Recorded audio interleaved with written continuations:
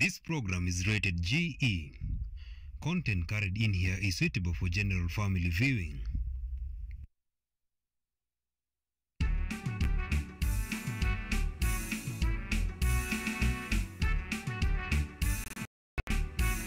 for tuning in to Law Matters, a show that is entertaining, informative, and offers legal aid in our day-to-day lives. Tonight, we're looking into the issue of international law. How has it been applied in Kenya? Before and after the promulgation of the 2010 Constitution, what are some of the strides that have been made, the treaties that have been signed, and whether they have been binding here in the country? Remember, you can send in your feedback, your questions on our social media platforms at KUTV Kenya on Facebook, at KUTV underscore Kenya on Twitter, and KUTV Kenya on YouTube. My name is Irene Mwangi, but before we get into the nitty gritty of this particular discussion, let me allow my guest to introduce himself kindly. Thank you. Thank you, Erin, uh, for having me. Uh, my name is Herman Omiti, um, an advocate of the High Court of Kenya and a partner uh, in the law firm of Ngeri Omiti and Bush Advocates, also known as NOB Advocates LLP, uh, here in Nairobi. I'm very glad to uh, be, be here today and to engage uh, in this topic of discussion for today. All right, thank you for making time. Now, looking into the issue of international law with the, um, you know, avoidance of, you know, sounding cliche, what, what is international law? Because it's a, it is a term that has been used every now and then, but really getting um, the perspective of what it really means. Yeah. Yeah. Uh, international law um, uh, simply means a, a body of rules, um, rules that, and principles that govern um, relationships between states, um, their interactions, be it uh, uh, diplomatic interactions, uh, be it in terms of environment, be it in terms of human rights. Uh, so generally, uh, there are those principles and rules that have been laid down by states uh, that uh, states um, uh, decide by their own volition to be part of and give their um, authority that they would be bound by those uh, rules and principles. Okay. Yes. Is it um, is the law a one fit all in terms of all uh, you know the, the the states in the continent are bound by this one rule, or does it change given the dynamics of different states, say the African continent, the European continent? How does it border? Um, there are no one fit all um, uh, laws in that respect. Uh, in international law is varied. Um, so we have international law at the international level where we have the United Nations Charter, uh, where um, states are members of the United Nations. Now, under the United Nations, there are various laws uh, that are um, states come up with uh, from time to time. These laws uh, they come up with because of certain necessities. Uh, for instance, uh, when there are issues of um, uh, global warming, um, they- come up with certain laws to deal with the environment. If there are issues uh, to do with the genocide and international uh, war crimes and all that, they come up with certain laws to deal with those. And, and so the laws um, uh, created at, at different times. Uh, within the African continent, we have the African Union, uh, which has different uh, laws that govern the interactions uh, within the, um, the, the African um, uh, continent um, and uh, cascading it down even to the East African community, where we have East African community laws that govern the relationships of these countries within the East African community. Um, so there are laws at different levels, and of course, uh, these laws um, uh, ena- enacted at different uh, times depending on the needs. Uh, of the states, uh, what they need to address, they come up with certain laws to ensure that these issues are taken care of. All right. Now, away from the broad perspective in terms of um, the convention that bring about the international law, what is the legal framework for the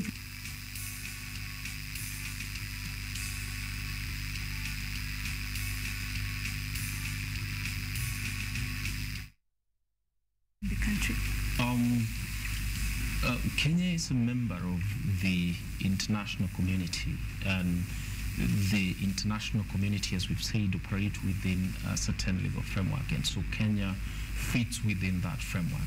Uh, but of course, there's a question of sovereignty of states, and so each state then accepts to be bound by these laws, and they choose which ones uh, they accept to be bound by. And so Kenya, as a sovereign state, um, also has its own rules uh, that gives it the authority um, and, and gives the uh, government the authority to ratify uh, certain laws that apply to us. Um, so in Kenya, uh, before the 2010 constitution, um, these laws were applicable under the general rules um, of ratification of uh, treaties, and then they would apply um, uh, here. But uh, there was a shift when the 2010 constitution uh, was promulgated, uh, where we enacted Article 2 uh, Article 2, Sub-Article 5 and 6, which then um, uh, specified that uh, treaties that are ratified by Kenya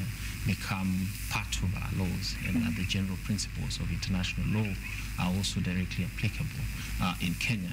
Uh, changed the landscape a bit, but not so much because there have been criticisms still applicable. But then now we have to make reference to um, the, the constitution. Okay. So those those are the, the broad um, uh, perspectives in terms of the framework uh, within which international law applies in Kenya. But the fundamental rule is uh, for treaties and conventions for them to apply here, they have to be ratified. Okay. Yes. Now, which brings the question about the judicial um, implementation of um, some of these um, laws and or even cases. Yeah. Because you know we, we know that our judicial um, system, from the magistrate court all the way to the apex court, that is the Supreme Court, when it comes to adjudication or um, implementation of some of these um, laws, Yes. are they done within the context of our judicial system, or do we have cases of a, of a, of a special court to, to hear some of these issues, especially when it borders, it borders say, um, the East African community or the African continent? Yeah. Um, uh, the judiciary um, generally also operates within a framework of laws, and the judiciary has the mandate to apply uh, the laws that um, uh, are enforced in Kenya. And, and, and so, um, in terms of application of these laws, when it comes to the application and interpretation of international law, um, there has been a movement uh, since uh, before the 2010 constitution and after. Um, so, in terms of application and interpretation of international law um, in Kenya, uh, before the constitution 2010, uh, the courts held view uh, that yes, um, international law would be part of our laws, but with very specific, uh, within very specific confines. Uh, in Kenya, the um, sources of law are found in uh, Section 3 of what we call the Judicature Act, which defines the sources of law in Kenya, uh, the constitution, legislation, and all that. In that definition, the international law was not part of it. Okay. And so, because of that, um, the courts had taken the view that international law could only apply in Kenya under very specific circumstances. In fact, the, they would only borrow interpretation from international law where there was either a gap uh, in, in, in, our legal system or for purposes of interpretation uh, where there was need, especially in human rights cases. But this moved when uh, the 2010 constitution was enacted that brought uh, international law straight into our legal system. Okay. Now that created a debate as to now the place of international law because Yeah. the constitution whereas it says it forms part it doesn't say in the hierarchy yeah, where does it fall. Extent. uh, obviously the constitution is specific that it's the supreme law so it doesn't come uh, uh, before the constitution. But after the constitution where we have legislation where does international law fall? Is it after the statutes? Is it before? Or uh, do they apply uh, at the same level with our statutes? And that's a debate that is still out there because the courts have um, decided differently on that issue.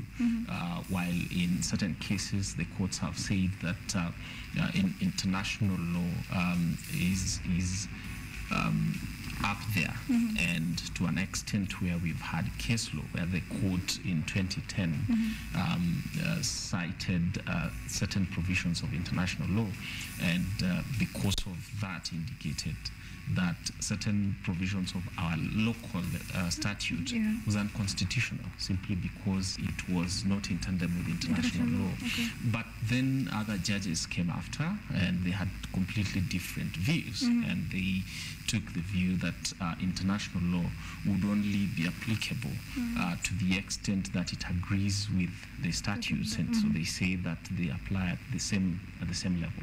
So there are different approaches that the courts have given uh, the interpretation and particularly that issue of the place of international law within the Kenyan um, legal system.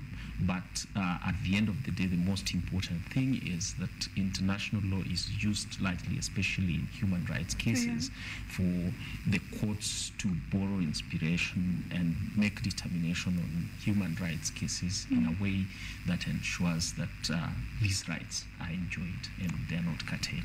All right.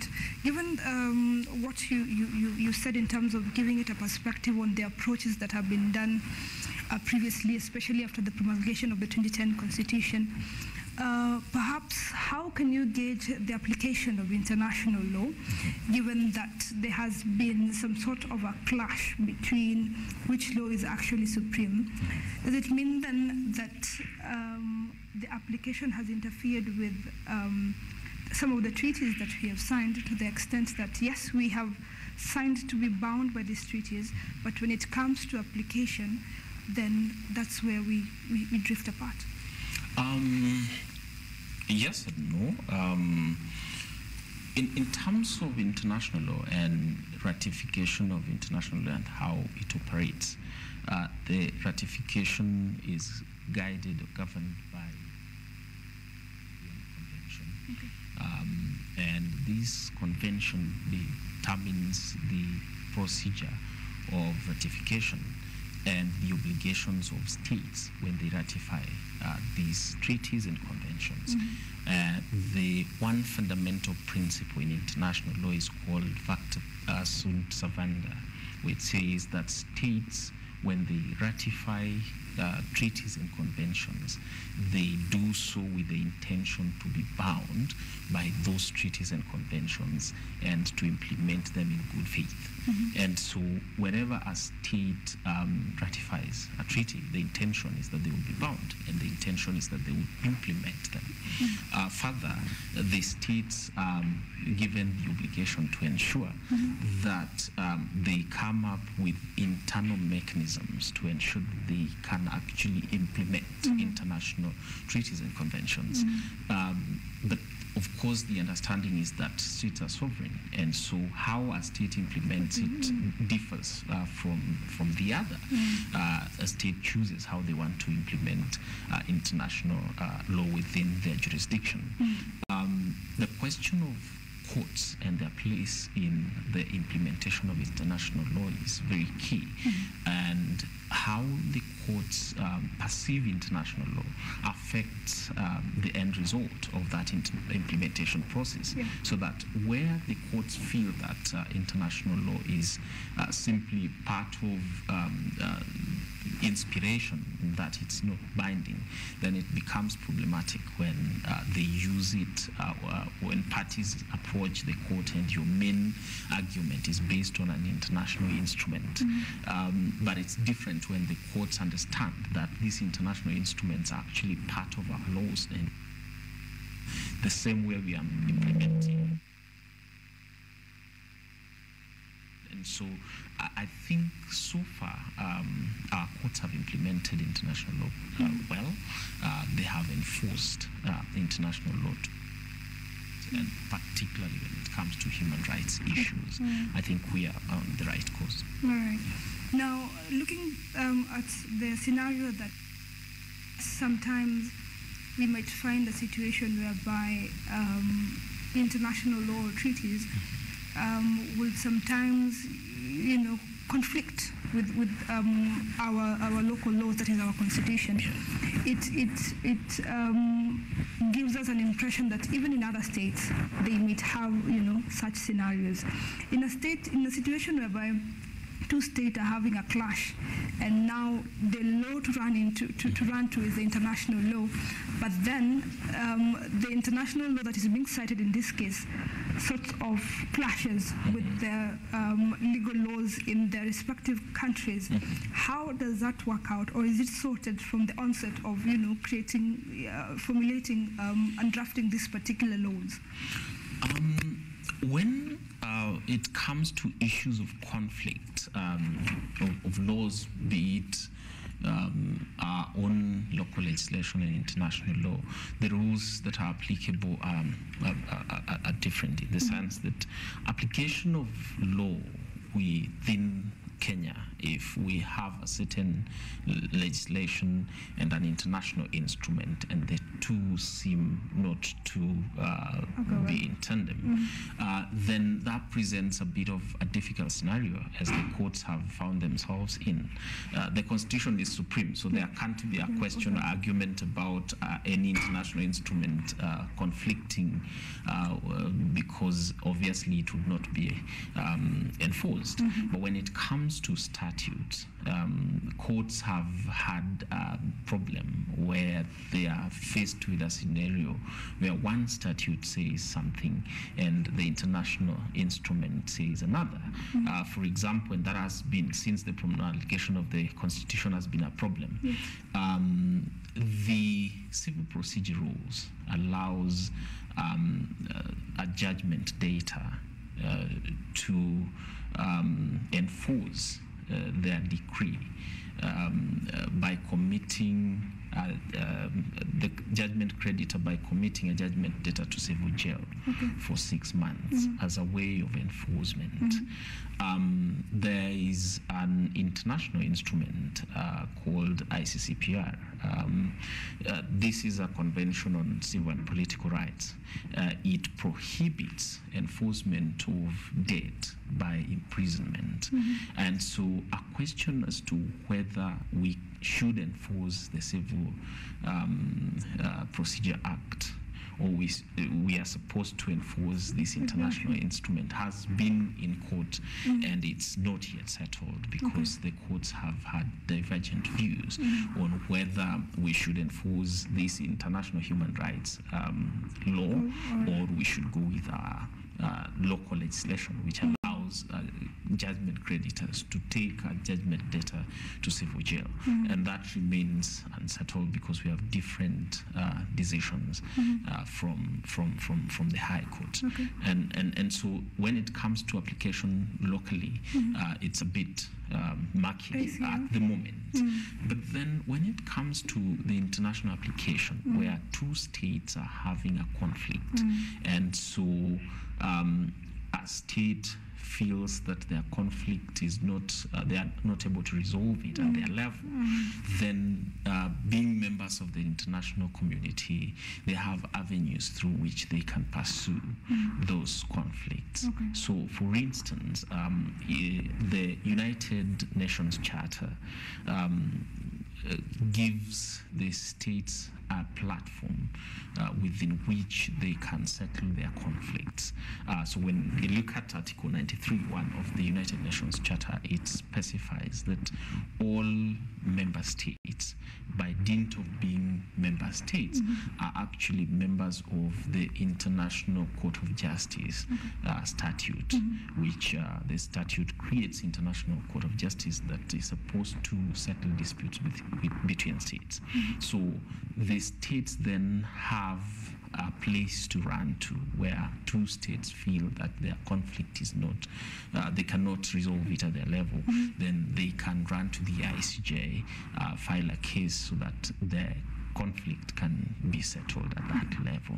So they still have uh, that option. Uh, once a state is taken to the ICJ, they can't simply say uh, that our laws don't allow us. They're members of the international community. And so it would be in bad faith to ratify an international instrument, then when you have a conflict with a neighbor, Yeah. you want to rely on your own local legislation to say that you cannot be taken to the ICJ. Um, that, that would be in complete bad faith. Uh, that the Vienna Convention on the Law of Treaties, uh, you know, frowns upon.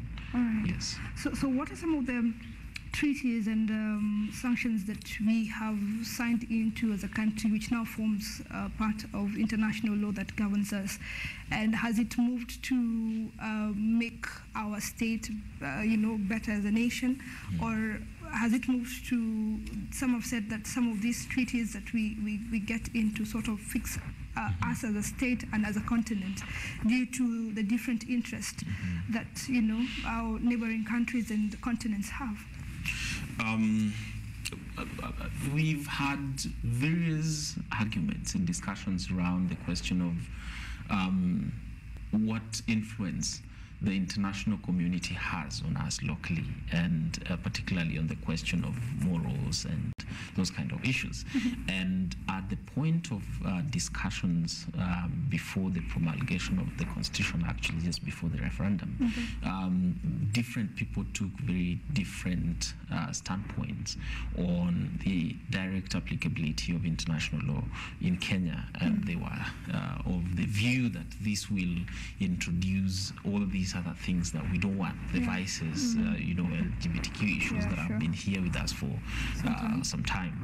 Um, but then when we drafted uh, that particular clause, it was not left open per se.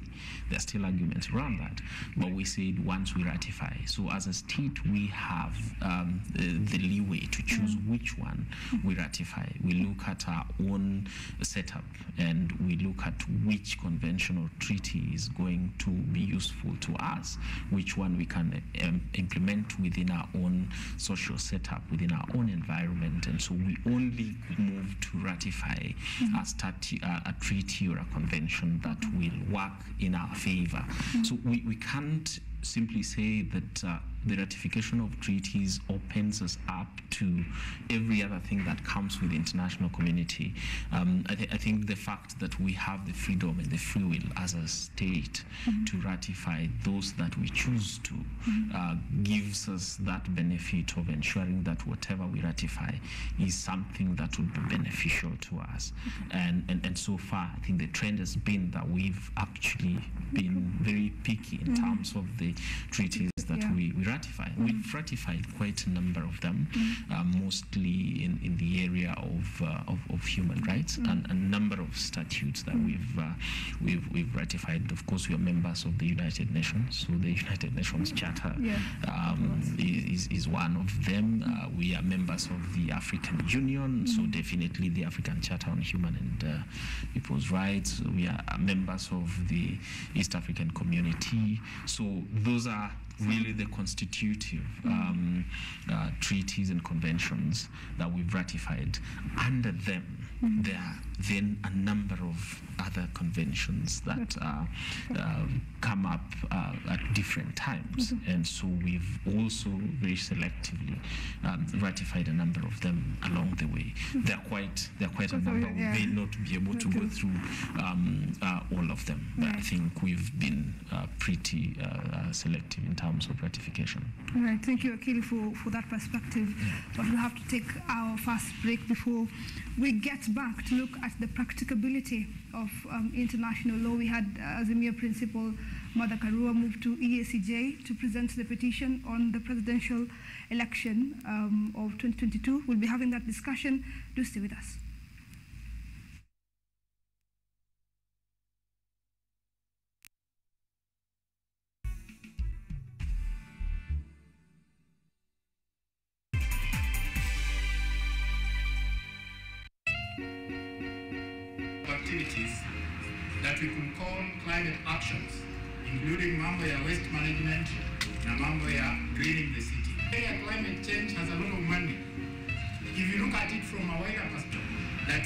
Ensure 2030, we have about 15 billion trees planted all over the country. been empowered by seeing how young people here are inspirational. You have some amazing activists within the community. You put the world to shame. the law na crime haibagui. Endelea kunirushia mawe ivatolu koholi, hata ngozi yangu one nitamwaga damu nyekundu. happy when we hear that ACC shares with us that the crime rate in Nairobi South B has reduced, courtesy of our joint programs with other youth groups.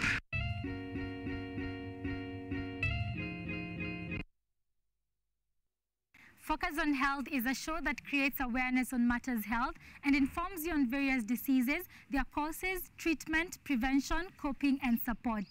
So join me, Barry Michelle, every Thursday at 7.30 p.m. only on KUTV. You can also follow us on our social media platforms at KUTV Focus on Health on Facebook and also on YouTube and Health Focus on on Instagram because your health is your wealth. Stay safe and stay healthy.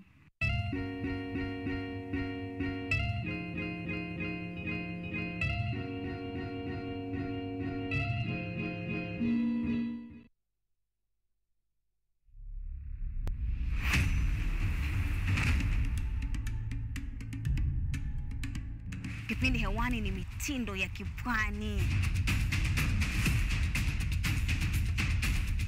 Kama ilivyo kipindi hiki kinahusu nyimbo, nyimbo za tarab, chakacha, midwara, midundiko, bila kusahau mapishi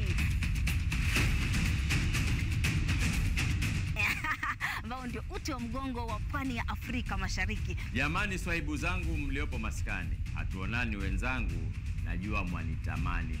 Hapa KUTV eh, nahodha mwendesha chombo cha baharini, yani ua linalonukia na kuvutia waridi tamu.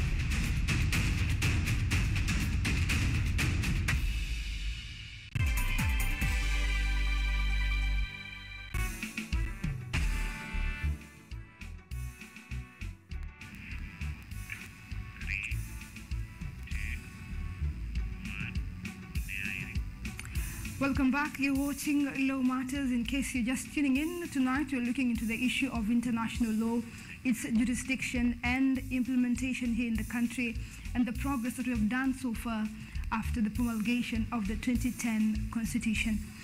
Now, um, Wakili, looking into the issue of implementation, now that you've um, given the discussion a perspective um, in terms of the progress that we have made so far, we had a, a recent case after the 2022 general election. The Supreme Court um, pronounced itself to um, declare uh, President William Ruto as the president-elect after a presidential petition was presented in court.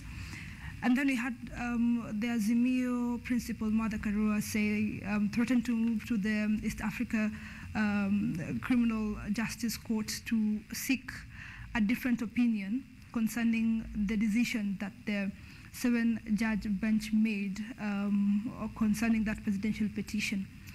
In that particular case, you've not seen um, progress in that case. You're not sure whether the petition was really presented, how far it is, but the much that we know is that he, uh, she made the intention. What happens when a petitioner takes a case to that particular court, yet within our jurisdiction, the Supreme Court is the apex and the most superior court? Ah, thank you, thank you, Erin. Um, we have um, our own judicial system, uh, which ranges from uh, the tribunals to the magistrate court, high court, all the way to the Supreme Court.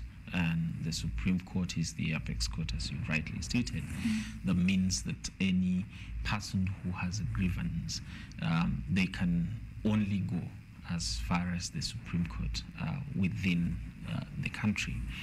Um, the issue you're making reference to is on election petitions and specifically presidential election petitions. Again, uh, the Constitution specifically gives the uh, jurisdiction to handle uh, el- a presidential election petition to the Supreme Court. So it means that any one aggrieved can only go to the Supreme Court, and the decision of the Supreme Court is, is final. Yeah.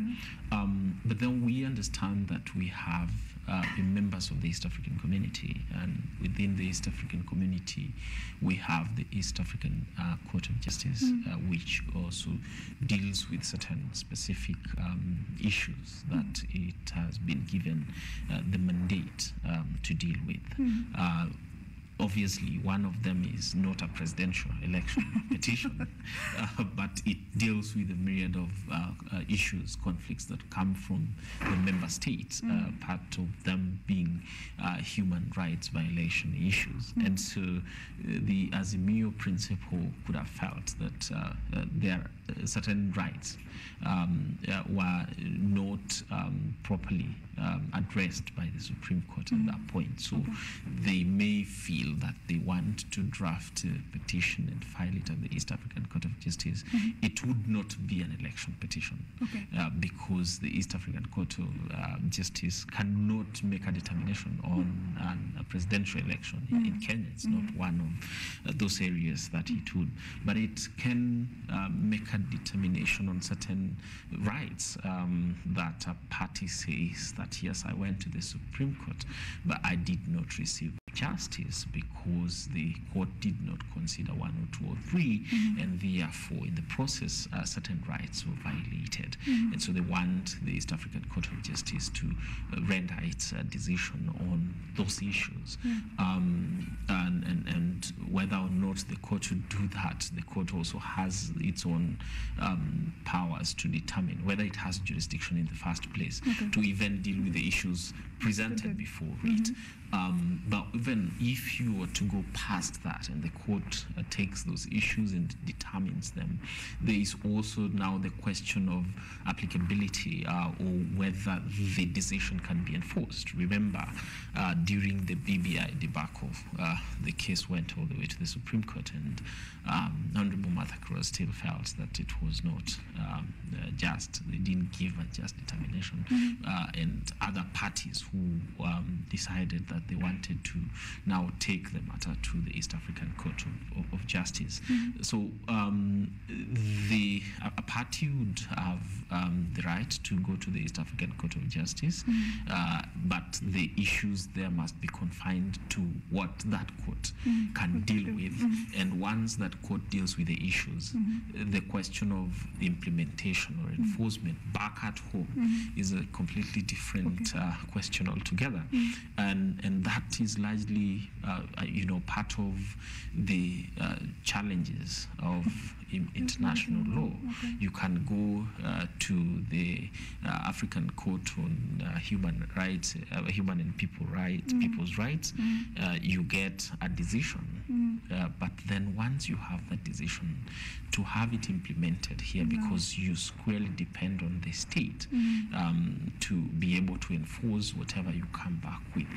When you go there and your claim is that your rights have been violated by the same state, then it becomes very difficult for you to eventually uh, get that decision implemented. Uh, worse still, if the state feels that uh, uh, the international law ranks somewhere lower in the hierarchy of its own uh, of its own laws. Um, so those are really some of the challenges that you come across. So, what is usually then the end game of um, some of the citizens in the country who present a case um, to the um, East African uh, Court um, of Justice or any other court?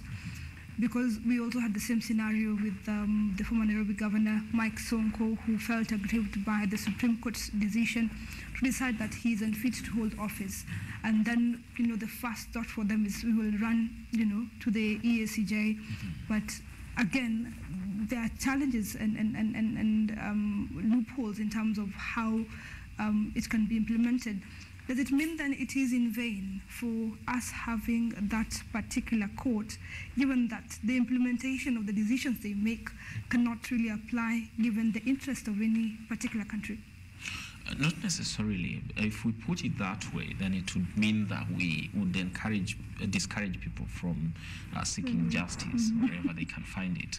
Um, it is important that we encourage um, uh, people to uh, exhaust all remedies that they can find uh, to be able to feel that justice has been served. Um, the challenge has been uh, that in the few cases we have cited, it comes out almost as if the filing of these cases at the East African Court of Justice is is, is like an appeal against the oh, decision of the Supreme Court, mm-hmm. which which which is is not the case, or should not be the case, mm-hmm. because the East African Court of Justice cannot handle appeals uh, from the Supreme Court. But parties have a right to approach the international courts uh, when they feel that certain rights have been violated or if they feel that the state is not doing certain things that it should do. Uh, it has the obligation under um, the, the, the treaty or convention or international law to do. And these are matters that such international courts should be able to adjudicate on, make certain declarations, and direct states to rectify those issues and to do certain things that they may not have done. And, and, and, and so parties should be free. Um, the only thing is that it has to be done within the confines of certain laid down principles mm-hmm. so that when you want to approach an international court like the EACJ or you want to go to the African Court on Human and People's Rights, uh, there are certain things that you must satisfy. Mm-hmm. For instance, you must satisfy that you have exhausted all the local remedies. So you have to confirm that indeed these remedies were available. You've mm-hmm. tried your best and you have not yet succeeded because uh, the system has not allowed you to ventilate your case locally, then you can approach um, the international uh, or the regional court. But where you have um, gone through the court system as it's provided for, you've gone all the way to the apex court, and the court has considered your issues but has arrived at a decision that you do not agree with. That in itself does not necessarily uh, give you the right to, to go to the next court or to the international court. But on the question of enforcement, um, uh, the the issue ordinarily would be that a lot of times these courts would give certain declaratory orders. So you go and uh, claim that certain rights have been violated. The EACJ or the International Regional Court is supposed to make a declaration as to whether your rights have actually been violated and whether they can uh, make directions that you be compensated. Now, at the point of the corrective measure is where the challenge is because you have a decision, you rely on the state that is not willing to implement it to help you in the implementation. We're not saying that all is lost, we're just saying that uh, it then would depend on the goodwill uh, to be able to implement these decisions as they come because the state also being sovereign there's very little that the international regional court can do to force the government to uh, you know do or not do uh, certain things. But definitely the fact that a determination has been made on that issue is a good step. Okay.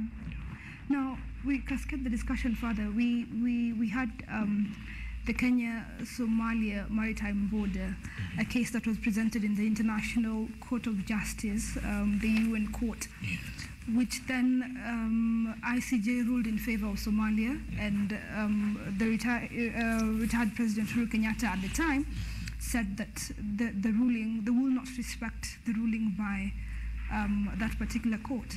So what happens given that we have signed treaties and charters, you know, to ensure that we, we follow a certain procedure? Yeah.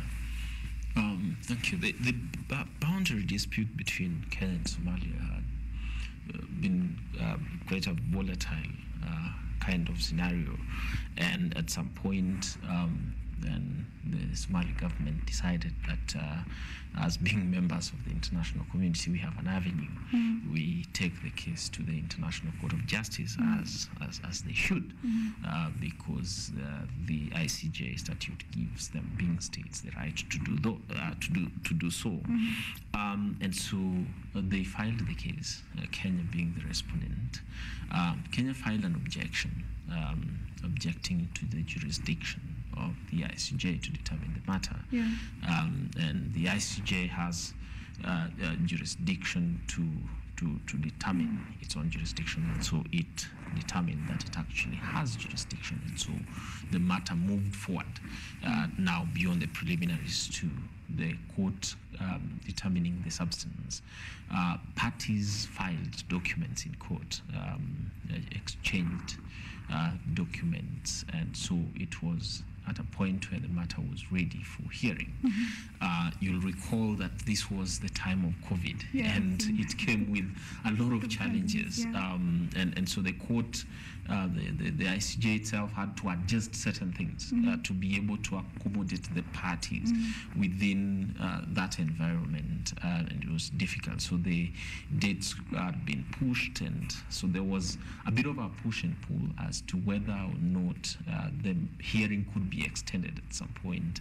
And Kenya insisted that uh, uh, they wanted uh, the hearing to be pushed forward, uh, but the court. Uh, insisted that the matter had been set down for hearing, and so the hearing had to proceed. Um, and so on that basis, Kenya decided, no, we are not going to participate in the hearing anymore. Uh, we, we will not be party to it. Uh, but then uh, they had already exchanged all the documents. Mm. And so what was left was oral arguments Mm. where the parties would uh, highlight the, the submissions uh, before the court.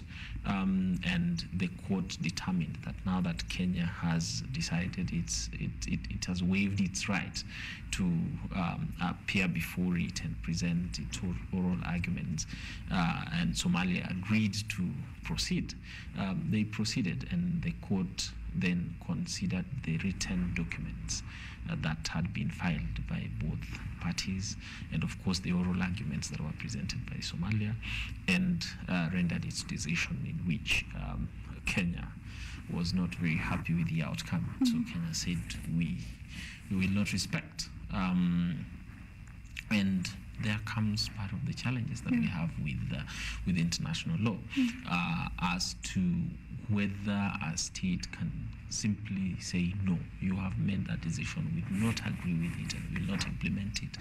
Um, being a sovereign state obviously uh, th- there's nothing much that you can do but a decision has been made in the eyes of the international community a decision has been made that the state needs to respect and so the understanding is that the conflict at least should have been settled at that level Mhm. yes All right. With that, we'll have to take our second break, but we'll be back with, with much, much more. Do stay with us.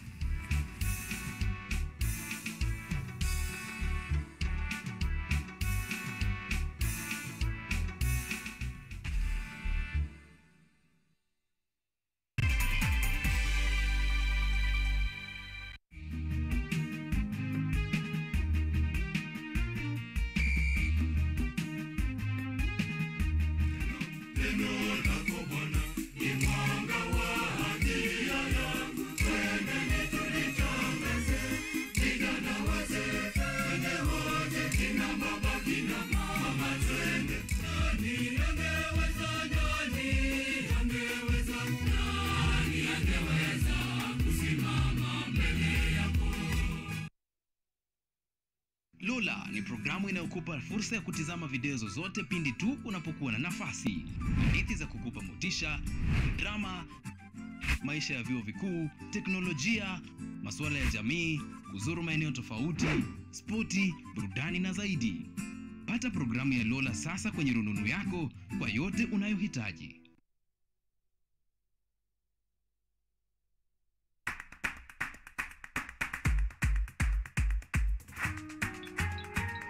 What are some of the ways through which you can develop these skills so that you are comfortably fitting into the job? You have to put yourself in positions where you are uncomfortable. Uncomfortable in the sense that you are not clear about what to do.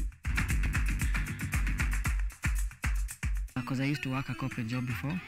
So when I left, I happened to visit someone's farm around this area. So this project is called Security Breach De- Detector and Can Familiarize. It is meant to be used to detect, detonate explosive. We'll tackle all the tough issues, discuss all the weird moments, and hopefully share a few laughs along the way.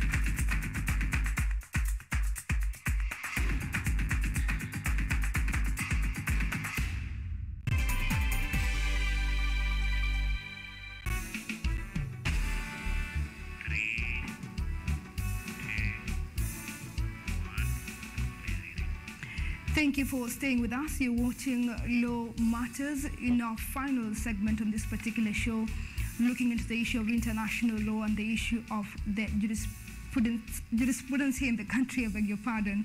Be sure to send your feedback on this particular discussion um, at KUTV Kenya on Facebook, at KUTV underscore Kenya on Twitter, and KUTV Kenya on YouTube. Now, Advocate Omiti, um, looking into what we discussed before we went um, on our short break uh, on what is happening on Kenya-Somalia maritime dispute, given that Kenya has decided we're not going to uh, be bound by this particular ruling, what happens given that the area that is in contention is rich with minerals and oil? So both countries will want to get into that, but a decision has been made. In terms of having war or a tussle, now who is the arbitrator that comes in, given that one of the arbitrators, the decision they made, we, we, we don't feel comfortable with it? Uh, thank you. Um, at, at the beginning, we should say that when parties um, sign contracts, um, I, I mean the treaties and conventions, um, the understanding at the international level is that they are um, they have made um, a declaration that they are willing and ready to be bound by them Mhm. and that they will apply them in good faith. Um, and so that goes to the entire spectrum of international law, which also includes decisions that come from the organs of international law, the ICJ being one of them. And, and, and so when a dispute is taken before the ICJ, the ICJ considers the di- dispute and renders a, deci- a decision on it. It's upon the parties to accept the decision and to implement. Mhm. Of course, that does not stop one party who feels disgruntled to say, ah, we're not in agreement with this decision, and Yeah. so we are not going to um, uh, implement it. Um, um, if that happens, like Kenya has decided that they're not going to respect it, and Somalia, because they're happy with the decision, they're going to implement it, um, the question of uh, goodwill of implementation of these uh, decisions Mhm. come into play. Um, the question of uh, sovereignty of a state and the decisions that it makes. But of course, sovereignty is like human rights, uh, where your right um, ends is where another person's Mhm. begins, and so you can't claim sovereignty to the extent that it affects another sovereign state. And so Kenya um, might not uh, be happy with the decision, but it- when it comes to implementation on the ground, um, they are bound by that decision. Mhm. Um, and so, if at all the issue continues, then uh, there might be interventions by other organs like the uh, United Nations Security Council to make certain decisions if it becomes a security volatile situation Okay. that um, uh, you know would go beyond affecting even just the two parties Mhm. to maybe other state parties that are not uh, uh, Okay. part of this whole um, uh, debacle. Mhm. Yeah, and so uh, yes, Kenya is bound by it. Mm. Whether or not they would respect it is a different question Mhm. of, altogether. Yeah. But uh, states get into uh, these um, arrangements with the intention to be bound Yeah. and with the intention to implement them in good faith. All right. Now, what happens in the scenarios that international law um, um, conflicts with um, culture mostly, or um, the constitution of Kenya? And now I, I will cite the issue in Uganda um, in terms of the issue of the dicey issue of the LGBTQ rights. And we saw the IMF come into that discussion in what appeared to be um, the international bank compelling um, Uganda to be bound by um, certain human rights. Where do we find our, ourselves being placed in? I know the country of not um, gotten to that particular discussion, but now how, how do we balance culture and, and international law and ensure we exist Yeah. as, as a community? Um, uh, culture is is, is, is, is is normally a very emotive concept because it's personal. Um, and they are as different as, as, as the humanity itself. Um, and so we cannot force uh, our culture on a, a different group. Uh, but the international law operates in an environment uh, where we refer to as uh, civilized societies. So civilized societies then operate in a, an environment where certain cultures might be deemed as being repugnant uh, to what we call justice and morality. And we're saying that if um, you want to uh, insist on a certain cultural standpoint, which in the totality of it doesn't look like it can operate in a civilized society, um, then it's important that you reconsider that position Mhm. because you operate within um, uh, this body called international community. Um, but when it comes to implementation of international law, as we said before, countries decide which international law to ratify Mm. and how they want to implement it locally. And so if Uganda decides that, look, for us, we can only go to this extent when it comes to LGBTQ issues. It's a very dicey issue, but it's a decision that they have made as a sovereign uh, uh, state, Mhm. and that decision um, ought, ought, ought to be respected Mhm. uh, because, from their own viewpoint, uh, they, they have not outlawed LGBTQ. They're outlawing certain Yeah, issues, and um, whether or not it's a good thing is a completely different uh, conversation. But I Mm. think um, the World Bank coming in to issue sanctions on the basis of that alone is a bit uh, stretched. Yeah. Um, uh, but of course, we live in a society where uh, we, we should not be too restrictive. Mhm. Um, To the extent. to the extent that um, you know uh, there are certain segments of the society who cannot be allowed to live their lives. Yeah. now, as we bring the discussion to a close, um, due to being pressed on time, what are some of the recommendations that you would say should be put in place to ensure that um, we, yes, exist as an international community by signing some of these treaties and some of these charters, but then again, we ensure that the independence of the or the existence of a sovereign, sovereign state is is maintained because some of the times this conflict when it comes to um, the independence of a state when they get to into signing some of these treaties. Um, states are never forced to to ratify um, treaties and conventions. Um, it's a free will. It's a choice. Um, in ratification, there are certain treaties that uh, they can even partially uh, ratify, Okay. um, and, and, and, and so uh, there should not be a notion where we're saying that a state has been boxed into a corner Mhm. of uh, you know ratifying certain uh, treaties and conventions, uh, but the moment they have ratified them, then they should not also be had to be complaining that this is now uh, not allowing us to exist freely Mm. because before a state ratifies uh, an international instrument, they are um, assumed to have understood the full effect and uh, impact of that particular instrument Mhm. on, on, on, itself as a state and on its people.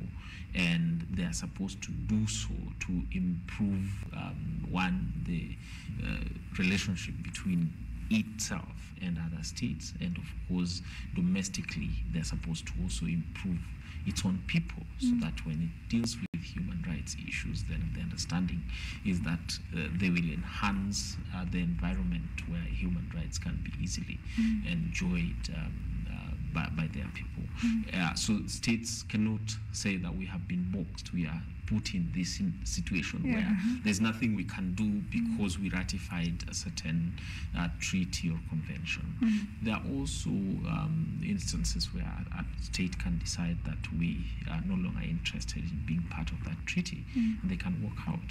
The process is a completely different Mhm. uh, ballgame altogether to finally be out of uh, uh, that particular instrument. Mhm. Uh, but they always have certain uh, clause that allows states to say, yes, at the time we were ratifying it,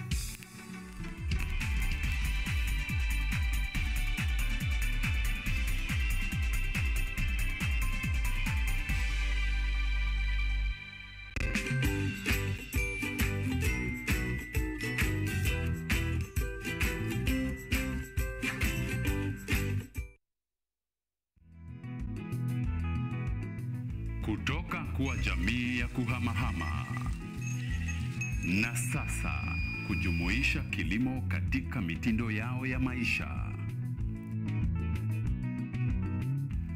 Kwenye toleo la kaunti ya Narok, hii ni Boresha Kilimo, kwani afya bora ni kilimo bora. Kwani kilimo ndicho huboresha maisha.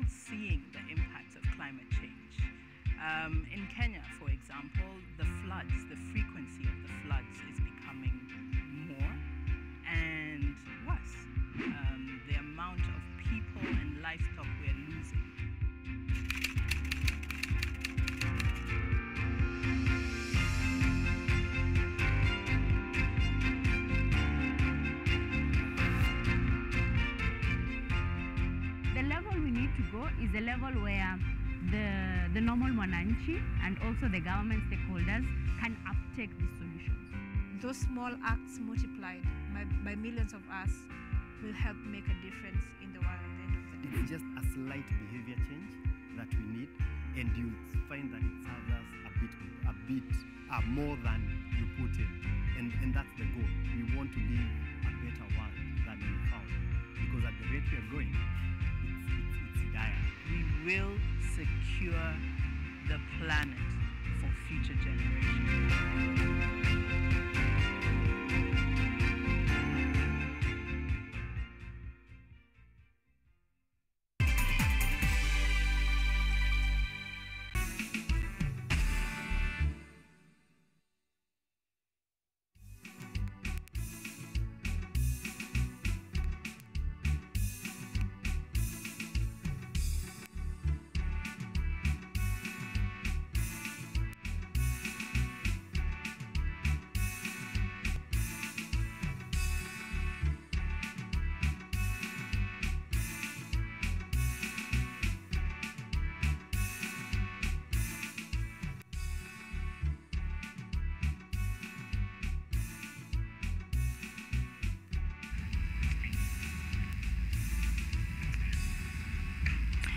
Welcome back. You're watching Law Matters. Uh, tonight we're looking to the issue of international law and what is the legal framework here in the country. We are having um, Advocate Omiti.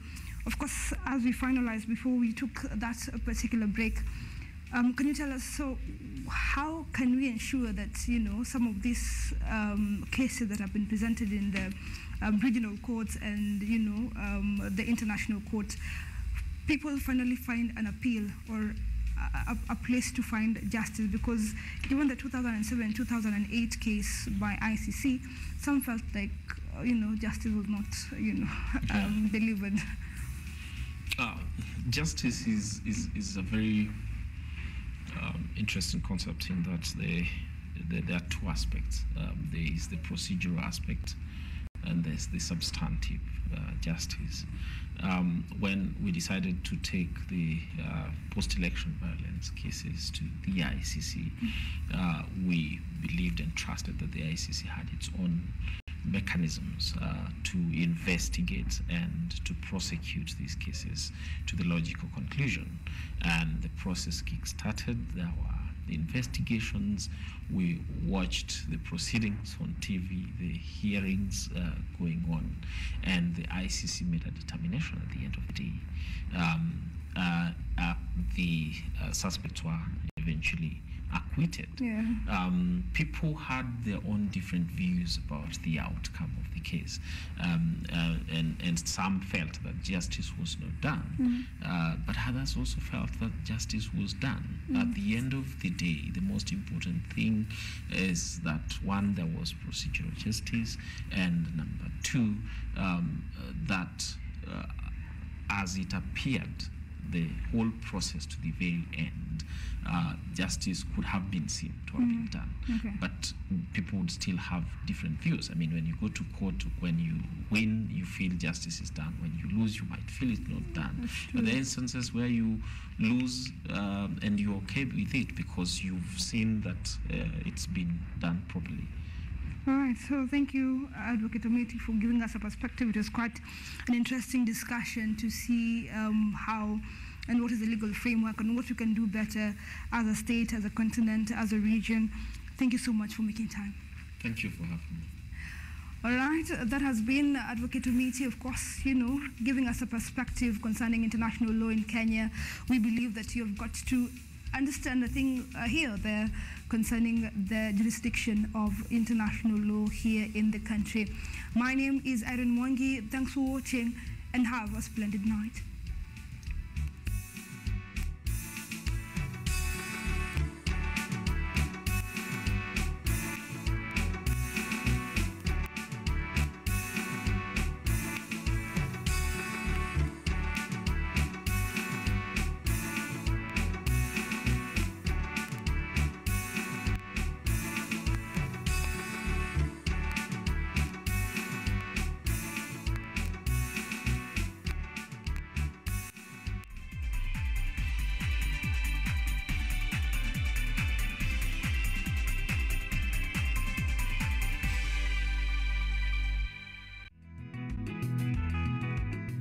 Kutoka kuwa jamii ya kuhamahama na sasa kujumuisha kilimo katika mitindo yao ya maisha. Kwenye toleo la kaunti ya Narok, hii ni Boresha Kilimo, kwani afya bora ni kilimo bora. Kwani kilimo ndicho huboresha maisha.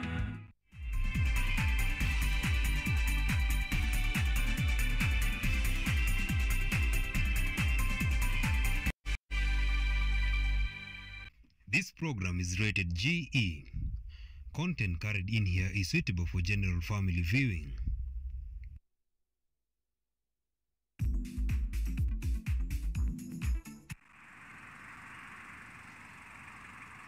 Watu wanaogopa vituo vya afya kwa sababu wanaofia kuwa wakienda watapata ugonjwa wa korona.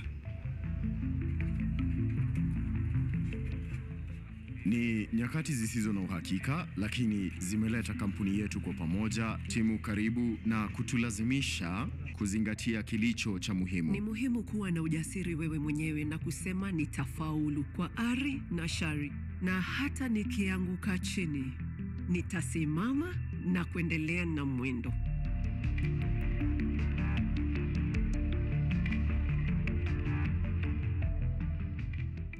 Ugonjwa wa korona umezipa nafasi kampuni za, za teknolojia uh, angalau uh, kujaribu uh, mengi kati ya uh, huduma zao.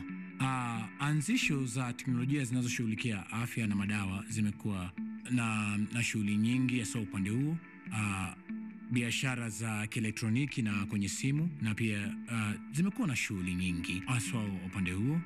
Um, anzisho za teknolojia za usafiri zimeathirika vibaya. Uh, na tumeona uwasilishi wa chakula nyumbani na vitu vinginevyo ume, pia pia umeimarika. Uzuri wa teknolojia ni kwamba ni rahisi um, angalau kuwa na mfano uh, kisha um, kisha sio gali Uh, kuna kuna uwezekano kwamba mapato uh, kuwa yamepungua uh, lakini uh, shughuli zimeongezeka. Korona imeathiri biashara zetu kwa sababu uh, baiskeli nyingi zilikuwa kwenye mashule, hivyo uh, asilimia kubwa ya mapato yetu yalikuwa yanatoka shuleni. Akaunti za bodaboda zilikuwa kati ya asilimia kumi na kumi na tano ya uchumi wetu wa pato la taifa. Bodaboda ndio wa kwanza, uh, mwajiri wa pili mkuu wa vijana baada ya ukulima, na hiyo inaashiria ama inaonyesha umuhimu wa bodaboda. Madereva wetu walikuwa katika pahali, pahali pagumu ambapo hawakuwa na mapato au mapato yao yalishuka kwa kiwango kikubwa. Pia uh, kama kampuni na wafanyikazi wetu wote, sio wote walikuwa na uwezo wa kuendelea kufanya walichopenda. kama kampuni tulikuwa na mipango um, tuliokuwa uh, tulikuwa tumejitayarisha kutekeleza na mipango yetu iliweza kuathirika. Ili ilitubidi kubadili lengo ilitubidi kubadili mtazamo ili ili tubadili mikakati kuhakikisha tunatoa huduma zetu kampala na kwingineko wakati shughuli zimesitishwa za kawaida. Tulihisi tuko sawa um, our bike pia ina biashara ingine mbadala our delivery ambayo huwa tunawasilisha mizigo na bidhaa kwa kutumia baiskeli zetu kwa hivyo kimsingi tulielekeza mtazamo wetu upande huo ambao tayari ulikuwa unafanya kazi pamoja na utumizi wa pamoja wa baiskeli uh, lakini uh, katika kipindi cha covid na kusitishwa katikuli za kawaida tuliweza uh, kusafirisha bidhaa zaidi kwani uh, usafiri wa baiskeli ulisitishwa. Tunajikaza. Hatuwezi kudhubutu kusema tunaendelea vyema kwa sababu covid uh, uh, imetuweka pahali pabaya zaidi sana. Kama nilivyosema hapo awali uh, tumeweza kubadili mikakati sana na kuzingatia uwasilishaji tukishirikiana na uncdf tuliweza kujumuisha masoko na biashara zote kampala kwa jukwaa letu. Kitambo madereva wetu wangepata kati ya elfu hamsini na sabini kwa siku. Leo madereva wetu wanapata kati ya shilingi elfu kumi na elfu kumi na tano kwa siku. Bila shaka kwa kutumia jukwaa letu la uwasilishaji wanaweza kupata mapato zaidi. Na tunaendelea pia kuhudumia wakazi wa kampala kwa kutumia ubunifu wetu zaidi. Na hivi majuzi tumeshirikiana na unfpa kuendelea kuhudumia watu ambao wamesitishwa katika shughuli zao za kawaida wanaohitaji bidhaa za kibinafsi kama kiafya Huku Uganda tumekuwa na wengi walioweza kutoa suluhisho. Tuna vijana wengi ambao wameleta suluhisho za uwasilishaji kwenye mtandao.